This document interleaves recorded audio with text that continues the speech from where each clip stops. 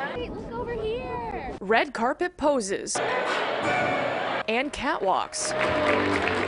Not the first thing you think of when you're talking about Super Bowl week, but maybe it should be. It's the marquee event of the Super Bowl every year. This is our 18th year doing the fashion show. It's important that we continue to do this because this helps us um, build camaraderie, stay together, stick together, and do something positive for the community. Every year at the Super Bowl, the Off the Field Players Wives Association, also known as OTF, holds a fashion show to raise money for a local charity.